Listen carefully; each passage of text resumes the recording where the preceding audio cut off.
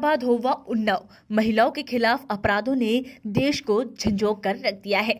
जबलपुर में अखिल भारतीय विद्यार्थी परिषद ने महिलाओं के प्रति अपराधों को बढ़ने पर चिंता जताई है। पत्रकारों से बातचीत करते हुए परिषद ने मांग की है कि विधानसभा में ऐसे मामलों पर चर्चा होनी चाहिए और कड़े कानून बनाए जाने चाहिए, जिससे महिलाओं के खिलाफ बढ़ रहे सघन्य अपराधों पर लगाम लगाई जा सके। आग्रह किया है, हम सब आग्रह कर रहे हैं विद्यार्थी प्रशक्ति की मांग है उस प्रकार का कठोर कानून बने। और इस प्रकार के जो घटनाक्रम को अंजाम देने वाले लोग हैं, समाज में जिस प्रकार से जो घटनाक्रम चल रहे हैं तो समाज के जिम्मेदार होने, नागरिक होने के नाते कहीं ना कहीं हम सबकी जवाबदारी है। सरकार को भी अपने पाठ्यक्रमों के साथ साथ शैक्षिक गतिविधियों में जोड़ना चाहिए। रिपोर्ट, खबर मध्य प्रदेश। मध्य प्रदेश की लगातार खबरों से जुड़े रहने के लिए हमारे चैनल को सब्सक्राइब करें।